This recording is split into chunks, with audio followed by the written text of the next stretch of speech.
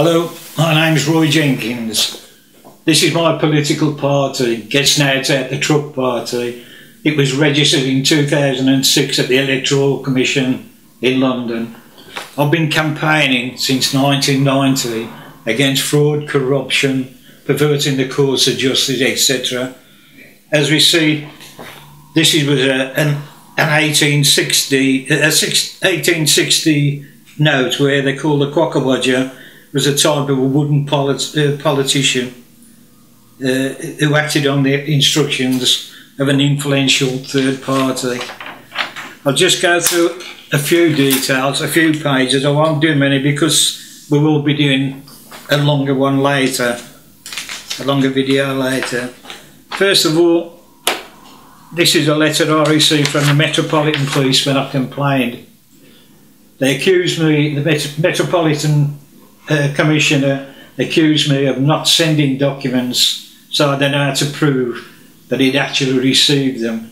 When you see this letter, it states, it shows quite clearly that there's no email number, no fax number, no phone number, no reference number for me to contact. It then accused me of trying to smear people's names. They did receive the parcel. They did read all the documents I'd sent in. They filed them and recorded them, but unfortunately they'd all disappeared. When I asked for the file number or the recording number, they couldn't find that either. So this is one of the things that when we're saying to people, if you've had the same sort of problems, please get in touch with us because we want to get as many people together as we can to take things forward. Doing this on your own simply doesn't work. If you haven't got a lot of people together, then you're not going anywhere. But with a lot of, if I can get people to come in with us, just write what's on, on the first page, we can put everything together we need 150,000 people to sign a petition. Then, by law, the House of, House of Commons has to read the paper out. So, if we can all get together, we've got a good chance. Nobody's asking for money. If you want to join the party or whatever, simply send an email. This here is two tapes. In 2000, on January 18, 2000, I made a two-taped portion statement to the uh, Cannock Police Station. On that statement, I spoke about the fraud by Bradford and Bingley Bank, judges, police, etc. This, this package was opened on the 9th of March uh, 2020. So we gave it 20 years. People have asked why do you wait 20 years? Well, it means we've been able to prove the lies that have been and the cover-ups that have gone on in that time. But now we know that those two tapes are now ready to be transcribed, and then we'll hear what actually was said. This is a judgment that was given to me by District Judge uh, Isley, in which he stated I'd won my case against West Midlands Police. They'd failed to, to provide any evidence they, they raised to the court and then they claimed that it was never given to them. They never received the judgment. Well, we know they did because the court at Stafford also said they'd sent it to them. This is one of the things that I've been fighting tax evasion. This is taken from a tape that I made of a corrupt customs officer. We also did four tapes of corrupt police officers. On this tape, on this letter, it clearly shows he's saying that tax evasion is rife within the commercial sector. He also explains how these uh, false invoices are drawn up and used. I know they were, they were being used, I was forced to use them, but that will go on next time. Okay, this part is about where I try to have uh, arrest warrants issued against chief constables and CEOs at the Bradford and Bingley. They would, I requested they be issued on the uh, 8th of August in 2010. When you read the bottom part, the only person that can deal with an arrest warrant application is a magistrate, where once you put the documents in court, There, you then have to go into the court before the magistrate and swear on oath that everything that's in the file is true. Otherwise, you're obviously in trouble if you if you're telling lies. This was a, a judgment made by District Judge Wickham. A district judge has no right at all to deal with arrest warrant applications. When you see the judgments, you'll see at the top that it says Judiciary of England and Wales. It doesn't say the City of Westminster Magistrates Court. There is no court reference number, which there has to be. There is no uh, case reference number, which has to be. And then on there it clearly states that I wanted uh, uh, arrest warrants issued against Chief Constable Swift, Chief Constable uh, Sim, Paul Jordan, Head of Legal Services for the Bradford and Bingley, Steven Crawshaw, CEO of the Bradford and Bingley, Richard Pym, he's uh, CEO of the Bradford and Bingley, and Alistair Darling, who is the uh, Minister for the Finance. On the back page again, of the judgments, signs it as Daphne Wickham, as a, she's a district judge. No, uh, we have letters from the court saying the only people that can actually deal with an arrest warrant is the City of Westminster Magistrates Court. This is a, an email I received from Mr Justice Bean. I made an application for an appeal and on this, this appeal he's written this is a vexatious judicial review claim as I've ever seen. Well, we did write him a, a polite letter, three pages long, asking him to explain where I've been vexatious, which he refuses to reply to. Uh, which was we knew that was that he wasn't going to do that. This is a letter to Staffordshire Police Force. In this letter, I'd asked them to provide me with a case number and the court number for the arrest warrant application I made. This, the, the paperwork was sent to their barrister, but uh, they're saying in here no such number exists at Staffordshire Police Force of a case number or a reference number to the hearing. So it was just somebody did it, throw it out and, and bamboozle him. Okay. For people who've lost their homes, this is what these this is what we were fighting about earlier. This here is a page from Lord Justice Ward's judgment when I appeared before him. He says that he says at the top he cannot he cannot understand costs of fifteen to sixteen thousand pound for a simple hearing, but they had they did go up more after that. Also, we provided Lord Justice Ward with paperwork showing that though the Bradford and Bingley and their barrister had claimed in court that the day before the hearing in two, uh, May of 2000 they recredited to my account two sums of money. Lord Justice Ward mentions in it mention, mentions here a total sum of £1,361.18 has been credited to Jenkins' account and that the further sum of £1,488 has been credited account on the day before the hearing, before the district judge. And then on paragraph 32, Lord Justice Ward says, these figures do not appear on official communications from the Building Society placed before me, and that is a matter which needs to be investigated. He referred me to the Ombudsman or to the police. Unfortunately, the Ombudsman has lost all the paperwork, not once but twice. The police say it's not a police matter, yet it is. If somebody signs a false statement of truth and enters them into court, they, they, they can go to jail for up to 10 years at a time. We were ordered to pay, we were told we had arrears of nearly £5,000. We contacted the official uh, Building Society's Ombudsman, Mr Murphy, at the bottom, he confirms uh, that he found the Building Society was guilty of maladministration. But the thing that we found out that was amazing about it, the person that sits on Mr. Murphy's panel and also on the new uh, uh, financial ombudsman is a Mr. McGuinness. Mr. McGuinness is the General Secretary of the Bradford and Bingley and he advises Mr. Murphy and the other gentleman, the new ombudsman, how to do, deal with complaints about his own building society. It's completely against the rules of the, the financial ombudsman, but rules don't count. When you're talking banks, they count for nothing.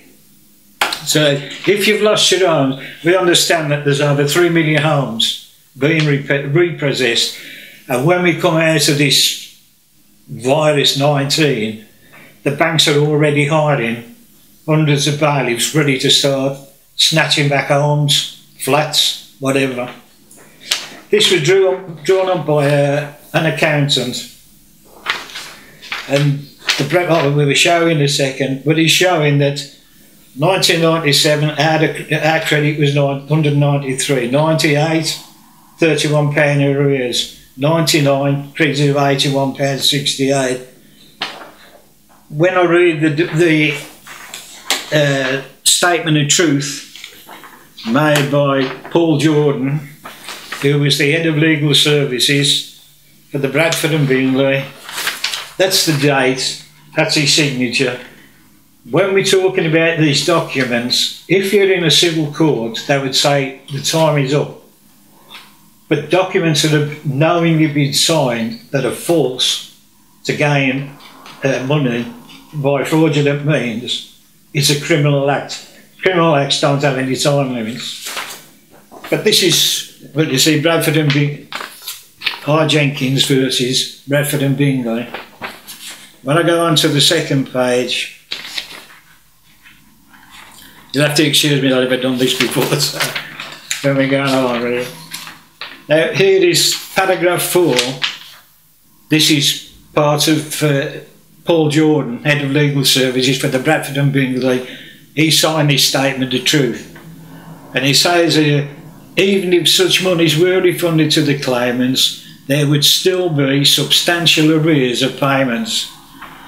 We found out from various, right into various building societies, that when they talk about substantial arrears, they start at £8,000 upwards. So the day he made this statement and signed this statement of truth and entered it into Stafford Court, he's telling the court we had substantial arrears from £8,000 plus. When we spoke to the judge, uh, uh, I won't say too much about the judge because he, I don't want it to matter too much. This is a letter that I received from Paul Jordan after the hearing and he states quite clearly, I can, I can confirm for the avoidance of doubt that on the 31st of October 1999, your arrears balance stood at £51.89 pence in arrears. So a bit different to £8,000 to £10,000, which he claimed in his statement of truth that we had. But the other thing, if people who've lost homes, if you, this is going back before 2000, but if you if you can still find your statements, your mortgage, your mortgage statements, if you look on there at the bottom, it will say additional interest, and that additional interest is a fine. It's not interest; they're fining you. So if you have missed a week, have missed a payment by a week, they will fine you for doing that. We've got several of these. I mean, there's too many to uh, to go on go on with for now. But again, this is what we're asking people. If you've got, if you've had these problems, just get in touch with us. We've got, we've, we're already putting stuff forward all the time anyway. Going back to this uh, £51, £89, I actually found the finance uh, unit at the Bradford and Bingley, and I was asking him, can you tell me what this additional interest means? And then he just burst out laughing. And I asked him, no, tell, tell me what the additional interest means in financial terms. What is it for? And then they explained the same thing. If you're in arrears of any sort, we will charge you additional interest. Well, mine came to nearly three thousand pound over a few years. So you, you, if you if you've lost your home and you can find your own mortgage statements, go back and have a look, because they could amount to thousands of pounds. We were told in '94, I think it was, or '95, we had five thousand pounds in arrears now, bear in mind, that came, we only took the mortgage out in 92, I think it was. So in 95, suddenly we got £5,000 in arrears. Unfortunately, I was out of the country because I drove all around Europe. My father-in-law went to Bradford and Bingley and paid the amount. And from that day to this day, Bradford and Bingley simply refused to send any documentation showing where we had £5,000 arrears.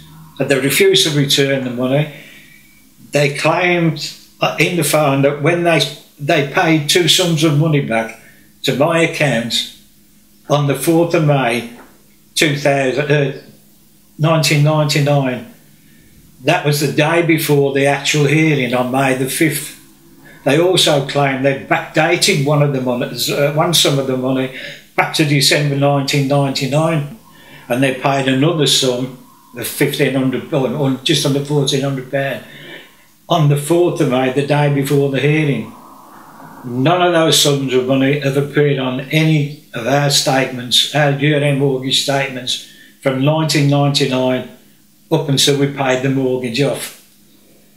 HHJ Rubery actually ordered the Bradford and Bingley, this is his court order, which he issued on, in uh, Stoke-on-Trent County Court, uh, really appeal the bundle is to be agreed between Mr Jenkins and the Bradford and Bingley and to be paginated and forwarded to the judge uh, the evidence of the two transactions to my account in the days that and the months I mentioned.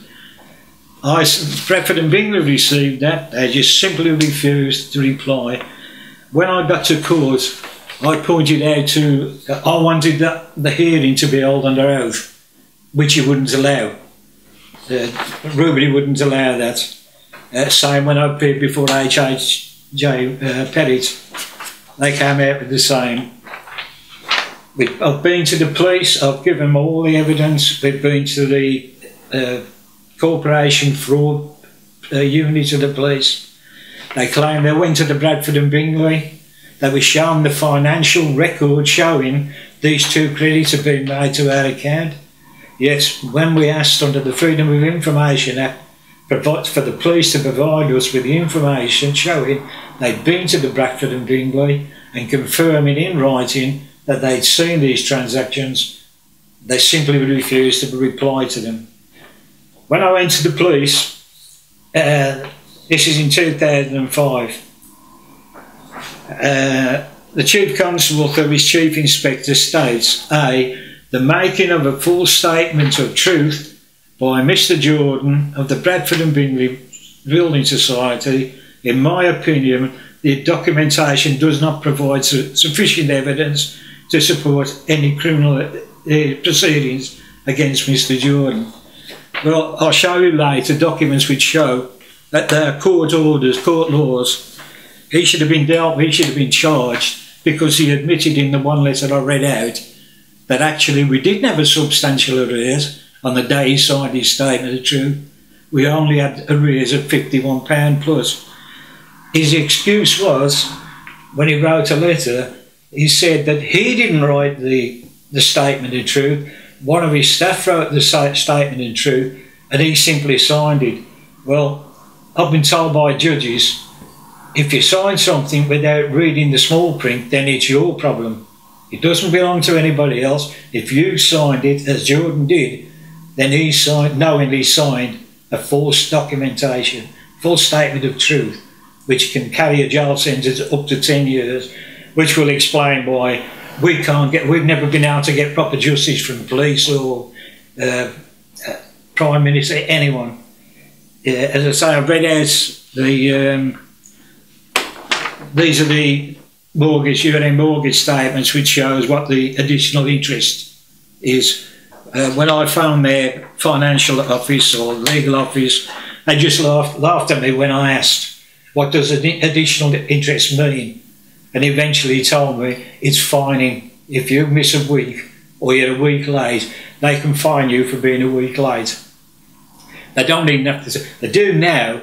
They changed the law in 2000. I wrote to several mortgage companies and I asked them all, what do you consider to be substantial arrears? Everyone comes up with the same version. Eight, ten thousand pound is the normal. So if you if you've got eight thousand pound arrears, you're in substantial arrears. But everywhere we've gone, it's done whether it's the police, the building societies ombudsman, the financial ombudsman. We've been uh, to police, judges. Judges have the right. When I asked Lord Justice Ward, I said, "Will you bring the police in?" Because I, explained to him and gave him paperwork of the problems we were having with the police. And he said he, could, he wasn't allowed to do it. But later in his judgment, he actually says a judge is allowed to bring in the police if he thinks criminal acts have been committed. Because, as we, as we found out over the years, a lot of judges have money in, uh, or shares in building societies, banks. They're not going to go against their own. But I'd like to, just so we get everything right, everything I say and everything, uh, everything I produce is there. It's, it isn't just my words, it's the words of the people that send me letters. So if we ask a question and they reply, this is we're asking them, you tell us the truth. If they've lied, we now that we've now found out how they do lie, and they lie for one another. In actual fact, I had one judge tell me in the Royal Courts of Justice while I was waiting to go in, no judge will find another judge guilty of making a wrong decision or judgment. So you're, beating your head against a brick wall. These things happen, believe me. We've, we've done it more than, more than once. This is a, a letter we wrote to Mr Justice Bean, to the Administrative Court Office at the Royal Courts of Justice. He called my application the most vexatious that he's seen. Well, all this is a polite letter. Nowhere in there have we said anything wrong. We've asked him simply to give us, uh, uh, in there we've asked for statutes, laws, uh, and uh, to show a judge is allowed to enter into secret uh, conversation with the defendants without actually sending us a copy. District Judge uh, Wickham wrote to all, wrote to the Bradford and Bingley, they wrote to the, the CEOs, they wrote to the police. No records of her letters exist anywhere. As I've said in, in the letter, earlier letter, they were received from Stafford Police. They confirmed quite categorically we have no case number and we have no case reference number for the court hearing before Wickham. And funny enough, I've just been looking there this morning, and I've, that was when I suddenly realised that Judge Wickham hasn't used uh, City of Westminster paper, magistrate court paper. It's like a John Bull sit. it looks to me. It's not a not a proper court paper, which is what we're bringing up now. Um, through the years, as I say, we, we've tried many, many times. I don't think there's anywhere we haven't been. I went to the Bar Council and the Bar Council rolled back and they stated there's obviously something very wrong, but the, the uh, barrister, Mr Jackson, who acted for the Bradford and Bingley, could only put to a judge what the Bradford and Bingley solicitors had given him. So when I said they'd lied in, it, in their paperwork to the barrister, the Bar Council didn't argue. But they say we can only deal uh, with the barrister, and we can't find against the barrister because he's been given the paperwork by the solicitor for the Bradford and Bingley, who's researched it and handed it to him.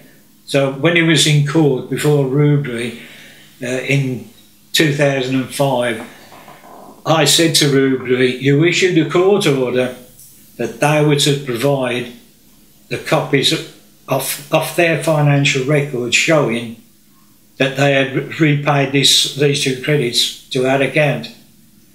And he uh, uh, uh, looked at, I held the documents up, I've just held there, and all Rubery did went, I don't want to talk about that now. That's in, it, that's in his judgment we've got there, but he doesn't want to talk about it. He's not going there. Not going down that road again was his, was his words. So when you go before the, the other thing that you find, which we found, we were litigants in person. When we first went to court in 1999, I was a litigant in person. So I'd gone to the court and I'd asked them to explain exactly what I needed to do. They gave me the forms. In the forms it states, seven days before the hearing date, everything you want to use in court, you must provide the judge with and the other side with. Otherwise, it can't be heard. Well, when we walked into court before District Judge Isley, the Bradford and Bingley, the solicitors and the barrister, as we entered into the court and sat down, he gave me a brown folder and he said, read this. We found out later what should have happened. When he gave the copies to uh, District Judge uh, Isley, she should have asked us, as we wouldn't know, or we didn't know, do you want these documents to be allowed to be heard? Do you want a recession so we, you can read the documents? Or if you don't want them at all, you don't have to, you don't have to allow them to be entered. We said we didn't want them to be allowed to be entered, but they just, that went by. When she opened her, her envelope, inside was 32 pages and all I were with 32 pages of figures, one after the other. We had no chance of ever even looking at. We wouldn't know what they were. It would have taken us taken us weeks to try to find out. But we've kept the documents, so we have all the documents as evidence. But then we found out afterwards the judge was obliged by law to ask us the very same question: Do you want them entered? Do you want them refused? Do you want to uh, cancel hearing for today. I said no, we didn't want them being entered, but it didn't make any difference. Then, if it seems complicated, it's not that complicated. It's just going. We we were. I made an appeal to Stafford Court, and it was an appellant's hearing. So the only person that could be there was me. The other side could be there, but they couldn't say anything or do anything. It was on strictly on what I put forward, what I asked the judge, what the judge asked me. Funny enough, it was HHJ Rubery. The day before this hearing, I received a message from Stafford Court telling me that my hearing had been adjourned. I asked why, why has it been adjourned? I haven't adjourned it. Oh no, the Bradford and Bingley wrote to the judge asking it be adjourned because they hadn't had time to put their paperwork in as I just explained, stuck the court explaining letters, it's your paperwork and your paperwork only. Not only did Bradford and Bingley apply for and get from Rubery and the Germans, they put in costs for £4,000 for the hearing they couldn't even be at. So they couldn't claim costs for my hearing. But the judge, when I explained it to the judge later, they just shrugged it off like, well, those things happen. Uh, when we appeared before HHJ Rubery the last time, uh, I was querying the cost. And uh, Rubery picked the costs up from the Bradford and Bingley, and that suddenly said to them, why are you charging London costs for solicitors and barristers for the Staffordshire court? It's not, that you can't do that. There's two sets of, each court's varying in court has different uh, costs that you can claim. So we did alter that. Uh, they didn't repossess the heirs. Judge, I, I told Judge Rubery that I was going forward. I was going to the Royal Courts of Justice. So he just turned around and said, uh, put it up for sale. When it's sold, sort out the costs. But what you've got to do, that's it. That was when we went before Lord Justice Ward.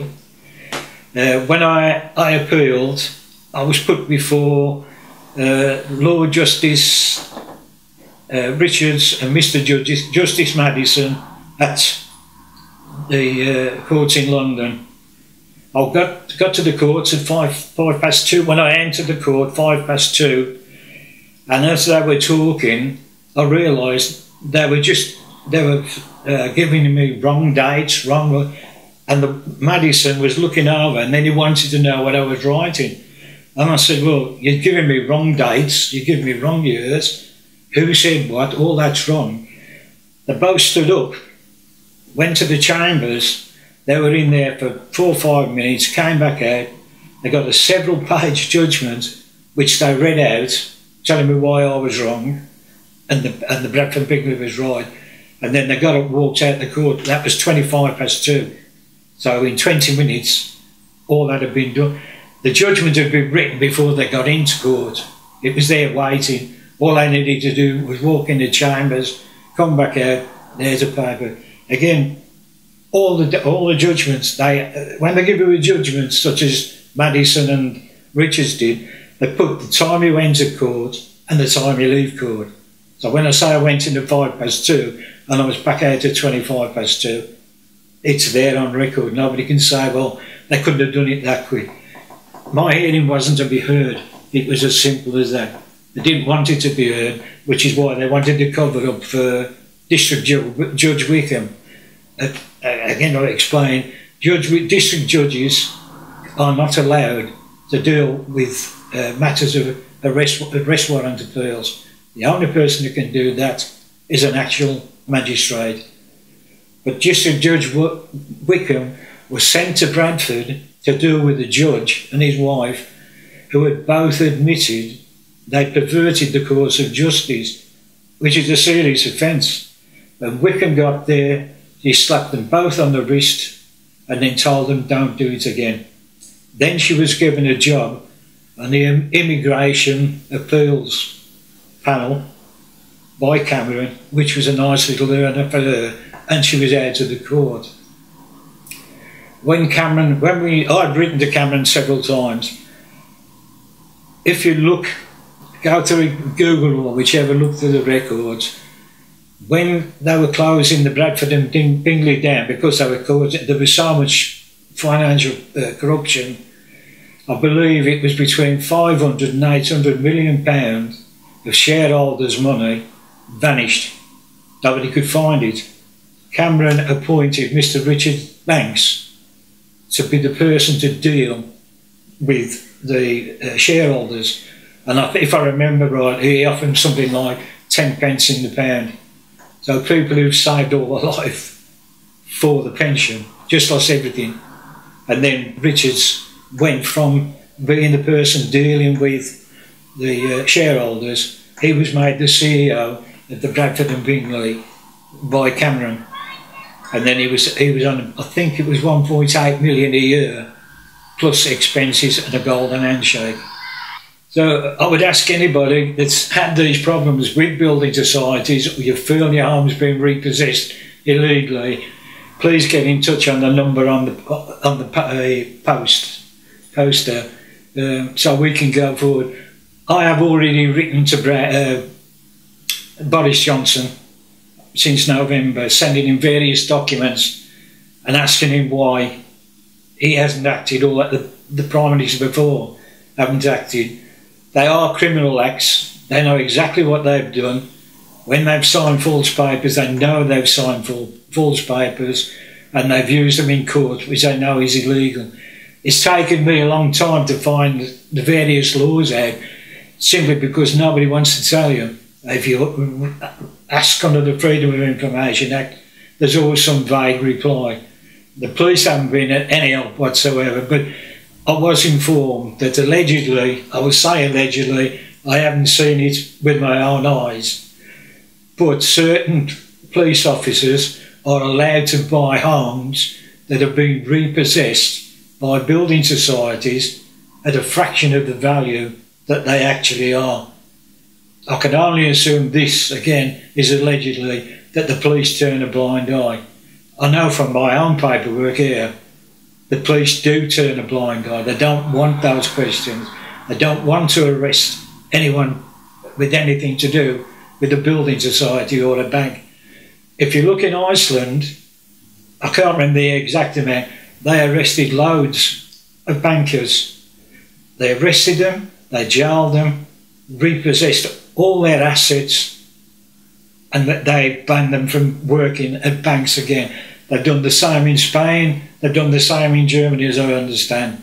In England, if you complain about a banker and that he's committed fraud, our government knights them. Did you say, oh, hang on, Fred the Shred, who was with the Royal Bank of Scotland, he was knighted. And look at the billions of pounds that was lost by the, the, Bank of Scotland. Okay, this is a part uh, dealing with the DWP. Uh, most people know with the pension companies, elderly people are treated uh, horribly. This was an article written by Campbell uh, Cameron just before the general election of 2010, and he's talking about the Tories, and he says, "We will always look after the needy, the disadvantaged, the elderly, the frail, and the poorest of our country." That is the sort of person I am, David Cameron. Well, if you go through his record in dealing with pensions and people on uh, benefits, it's worse than a third world country, the way he's dealt with it. This is a, a court case that I attended for an elderly relative um, at Walsall Courts the DWP at Lichfield had been to a house and they told her they were taking away parts of a pension or parts of her benefits. Then they they said they wanted to destroy every every letter they'd ever sent her.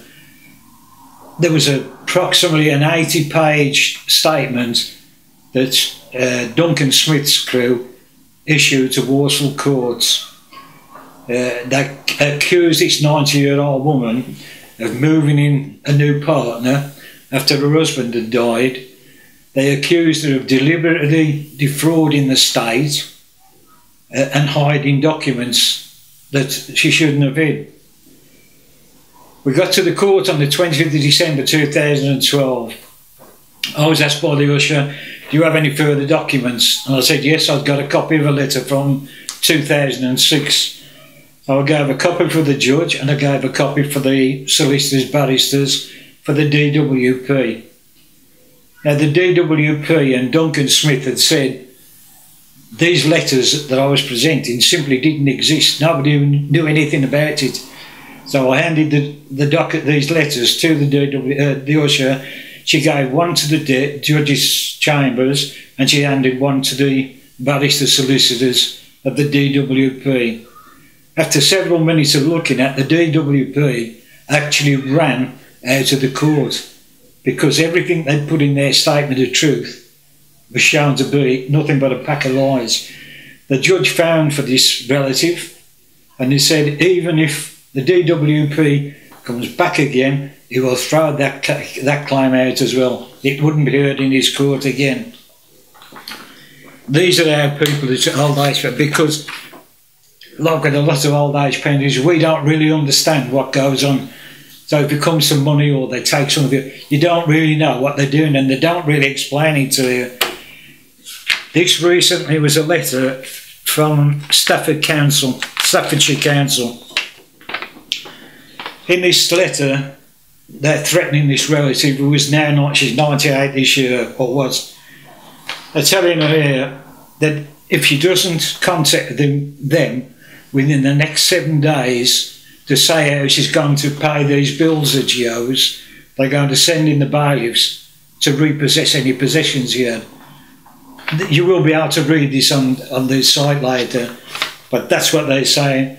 I now advise, have to advise you that unless payment is received within the next seven days, or you contact us to discuss this issue, proceedings to recover this debt will commence and will include legal action one of the bills was for £441 for home care.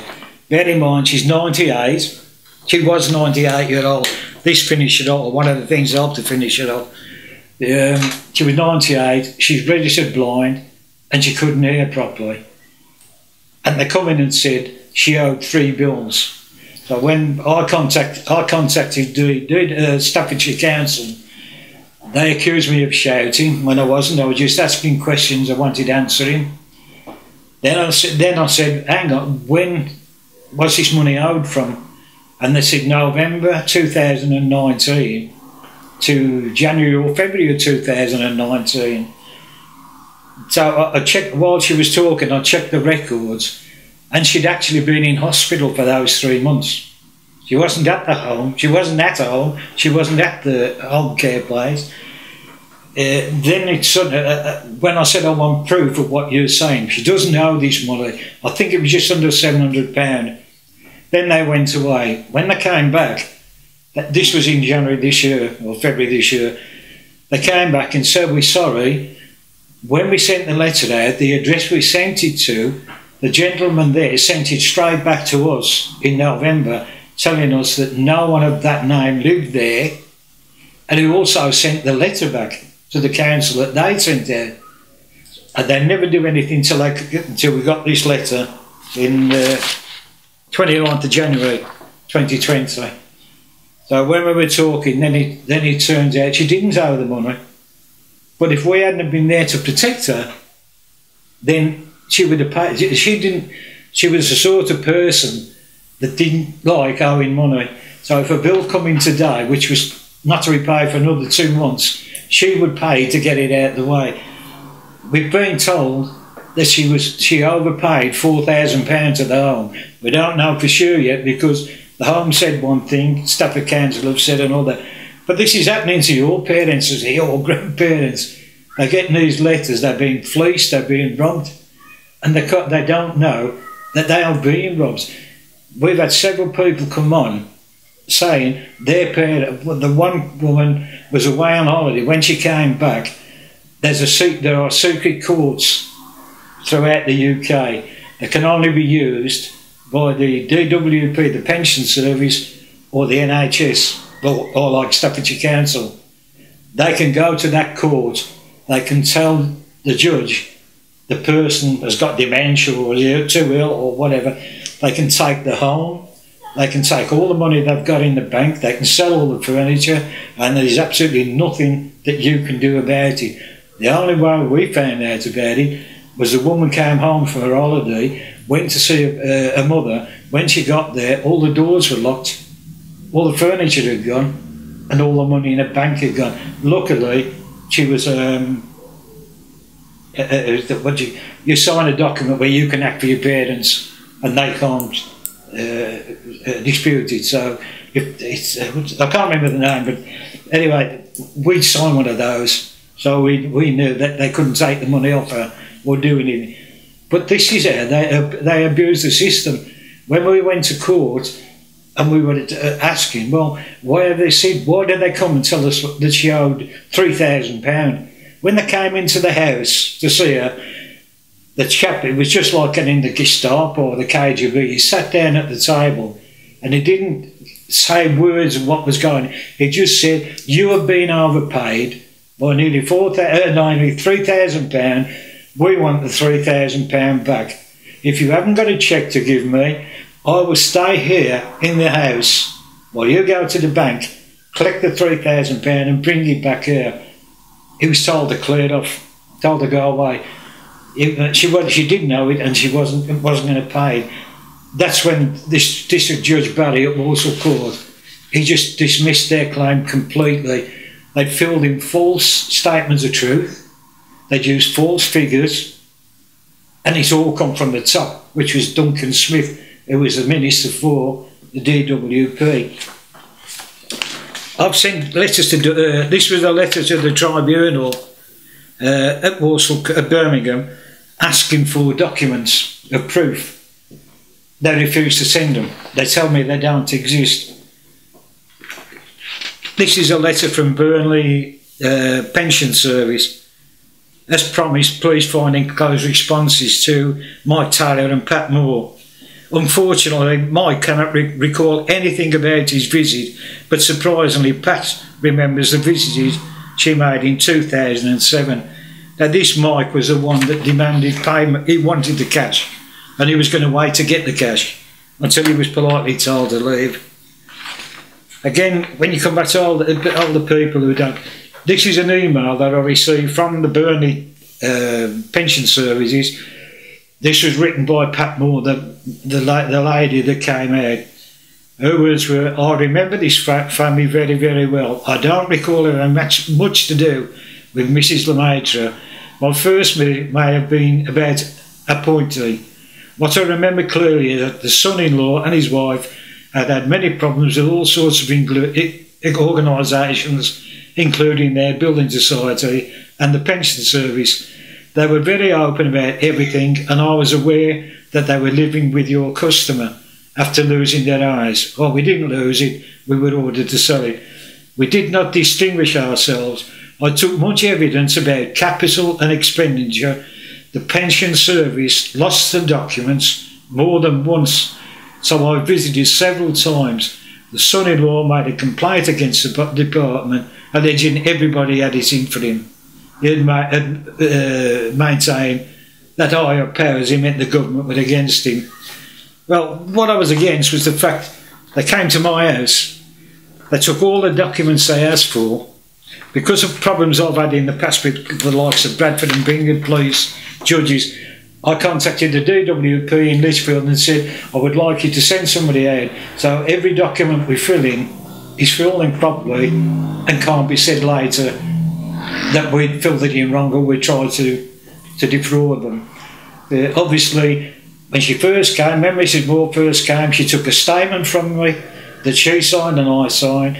She took all the original documentation, bank statements, whatever, wouldn't accept any copies at all. They lost him six weeks later. She came back, took same stuff again. Then they came back again and she said, We've lost those as well. Well, that time I'd had enough and I said, Go away, I'll, go, I'll get in touch with Duncan Smith, etc. As if that was going to do me any good. But you think these people are honest. They ain't honest, they don't care about you. This is a, letter I sent to Duncan Smith, who was a pensions minister. I sent it to his uh, constituency office. I gave him the court number, uh, court number, case number, whatever, and I asked him in the letter, do you get pleasure from terrorising 92-year-olds with court threats? Your legal office used full statements of truth, then deliberately withheld documentation requested from your Lichfield office. Every time we, we contacted your Lichfield office, they came back with the excuse, we can't find them on our computer records, we can't find them on our paper records. This is this is a normal thing. I have I don't know, I have 50, 100 letters from various forces and government offices.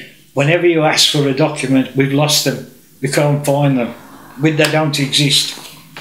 Uh, then I'll get called Mr. Vexatious. That's the favourite name. Uh, that this is the second one to Duncan Smith. Um, but I've asked him again why, uh, when the judge threw out his application, and I've asked for the documentation, and it says here 100,000 people died in a year. I believe the figure is through ATOS Actions. That was the one that was investigating before the before Smith come into it. But it, it, all the, all these uh, authorities are all based on the same thing if they get caught out, they'll simply lie about it. They won't tell you the truth about it. They just come come up with the words, "Oh, we can't find it. Uh, can't find the documents." I've had it happen with uh, the Met Commissioner, SOCA, uh, number ten, police, uh, chief constables. The list goes on and on. We've lost them, and yet I've had I've had a lot of honest police officers help me out over the years. They call them all corrupt. They're not all corrupt there's a lot of good police officers about, and some have come to me and told when I've been struggling to find something out, and I've come along and just it's like a whisper in the air. Look in this area. That's where you'll find what you're looking for. I, I sent documents to Blair when he was first uh, my prime minister. Sent him all the documents of the fraud, the corruption that was going on and they wrote back to say, or his, his office wrote back to say they've been passed to the appropriate office. And if you're talking about police corruption or solicitors or bankers corruption, you go to the obvious uh, ministries. Mine was sent to the Lord Chancellor's office, and the office told judges where they'd be sitting for the next six months. And the, the documents have been there for two years. Every time I wrote to Blair's office, uh, number 10, all Blair said was they were the appropriate office. Uh, the personal private secretary to the, the Lord Chancellor was my MP, Dr. Tony Wright. And the documents I were giving him, he claimed was passed to Tony Wright, who passed them back to where Tony Wright was working. So it was a covered up. When I asked, we eventually found the documents and I wrote a letter to the Lord Chancellor office and they came back and said, we don't know why Tony Blair MP, uh, PM sent these documents to us. They're nothing to do with us. But they'd left them sitting in a drawer for two years gathering dust until I actually found out from an honest person where they were. So whatever I say or whatever I say about the police, I don't include them all. There are a lot of good police officers and there's a lot of good police officers that have actually helped me out and explain and customs officers have come forward and said you're going about that the wrong way to find that you're going about it the wrong way. They won't give you that but go this way. When I contacted um, the parliamentary ombudsman Mrs Abraham. The only way you can contact is you've got to go through your own MP well, at that time, I didn't know Tony Wright was covering up for the police and and for Blair. So that only came about when I found out years later he was the personal private uh, secretary to the Lord Chancellor. So don't don't please don't put every all police officers or customs officers in the same uh, boat as the corrupt ones. But Mrs. Abraham, um, when she set me the file back about that thing, all the documentation, all the tapes and the records, they were just redacted. So you would see uh, two R Jenkins, but then everything else was all black, where everything had been redacted. That went on page after page. So every time I wrote back and said, this doesn't tell me anything, all you show me here is just black ink all over everything. We're not allowed for you to have it. But under the Freedom of Information Office, you're supposed to give it me. Back they come again. Uh, under this, it's uh, against the security system, so we can't give them you. So who are you covering up for? You're not covering up for me, you're obviously covering up for something else. All I'm asking people is, come on board with us, because at the end of the end of the day, we need really to get justice for everybody.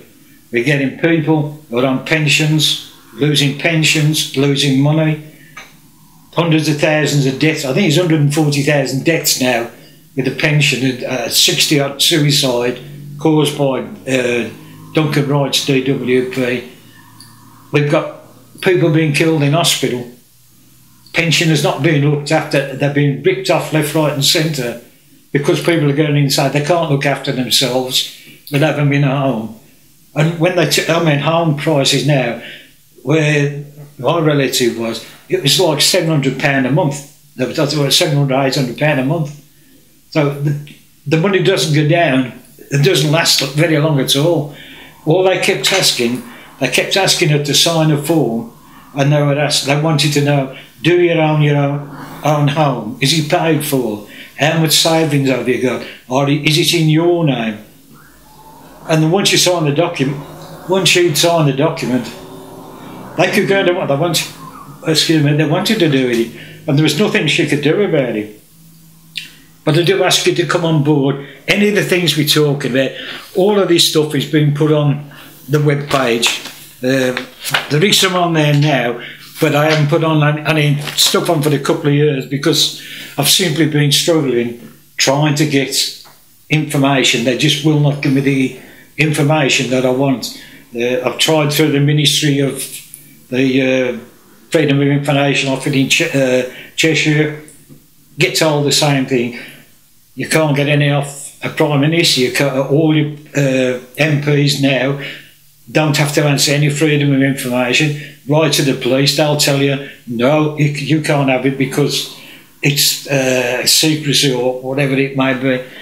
But this will also be going on on the, the, the side These are this R versus West London Justice Ex Parte Klahn. These are rules and regulations. Now they're telling you a person to be to be treated for the purpose is the part of make as making a false instrument. If he alters an instrument as to make it in false in any, any respect, whether or not it is false in some other respect, apart from alteration.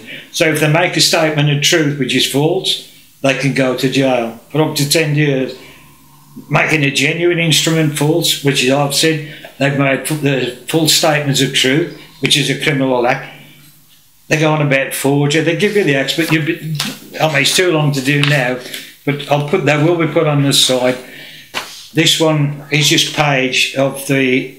It's called the um, EM five one hundred oh six dash penalties culpability Halsbury's laws of England fraud and again it quotes there 757 what constitutes fraud making a false statement of truth entering into court to gain an illegal uh, judgment. So with us, as I say, with what I'm doing now, I've, I've opened it up more now because I have got further information which has been denied to me for several years. Now we've got it. I've got the tapes. Uh, the, obviously, they didn't normally realise we kept the tape for 20 years. And the reason we kept it for 20 years without opening, opening the envelope they were in or listening to them, we could collect all the lies that they've told us over the years. When I get letters from the police, etc., they always address me as vexatious. I've got letters from the courts, Royal Courts of Justice, City, uh, Westminster Magistrate Court, I'm vexatious. But you ask the question, well, please show me where I'm vexatious. No one can. You just ask for the truth. I asked the Chief Constable of Staffordshire Police and West Midlands Police, I end all my letters to you, and have done for several years, as a statement of truth, which are sign and date, which means if I put anything in that letter that's false, as I was told by a police officer, your feet won't touch the floor on the way to jail. So we can be charged. You get a small family, got no money for food, they steal a loaf of bread, they go to jail, they get prosecuted. Our politicians go out there and they claim public money like it's their own. £6,000 have a, have a moat cleaned and they use it as their own funding, but they don't go to jail. They just get a, oh, I forgot, I put it down wrong. No, they don't forget, they know exactly what they're doing. Now's the time to get rid of them now before they get so much of a hand on what we're doing we won't have a life whatsoever. I'm doing this for my kids and my grandkids. For me, I'm too old to care. It doesn't matter to me. It ain't going to matter to me what happens now. But I do care passionately about this country and what's going on it and what we're leaving for the future generations. I do hope you contact us. The letter, the, the email, and the, everything's there. Thanks for your time. Hope to hear from you. Thank you.